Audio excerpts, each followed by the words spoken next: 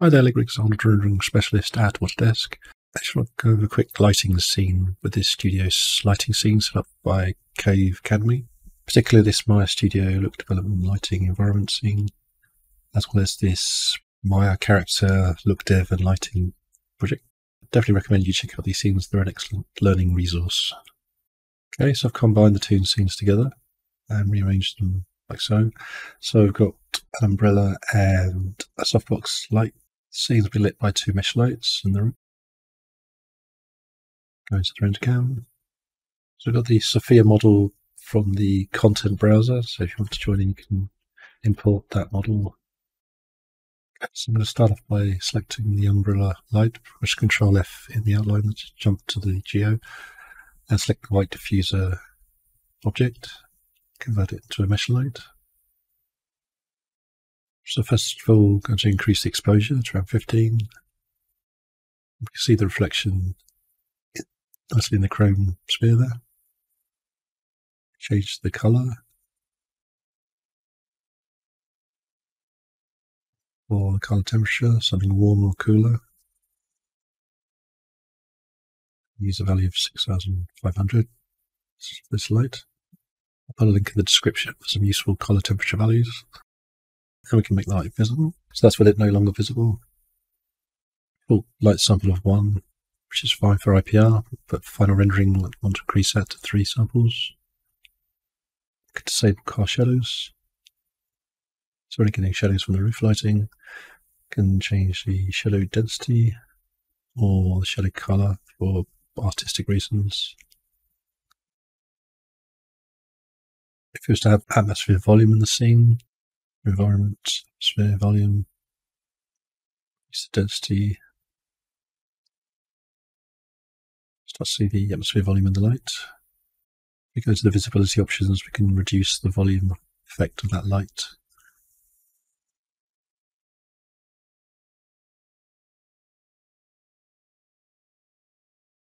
Tweak some of the other visibility options of the light, reducing the diffuse.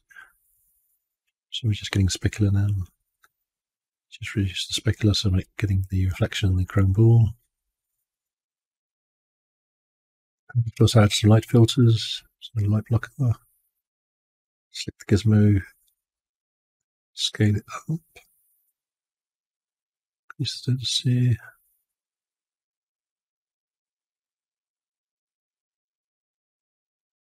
So just want the lights at the top of the model.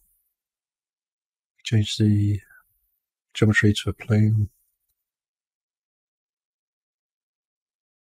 Like top, top of the body. leave the rest. We'd also add a light decay. Enable use far attenuation, just increase the far end. Just get light on the on the sphere model rather than the background.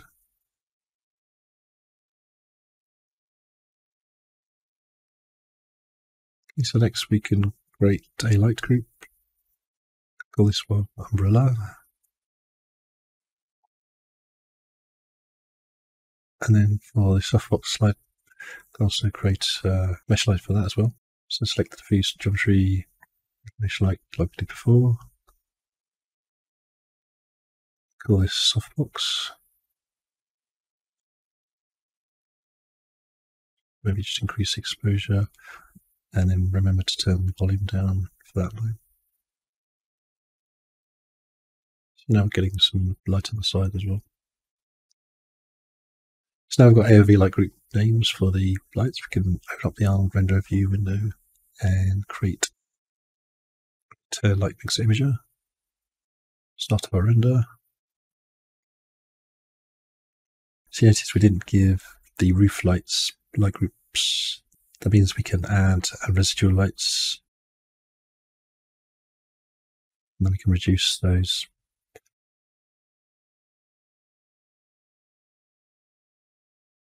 Reduce exposure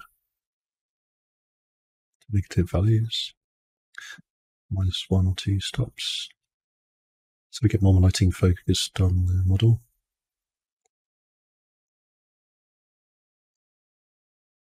Okay, so we want to change the tip color to the lights. So this.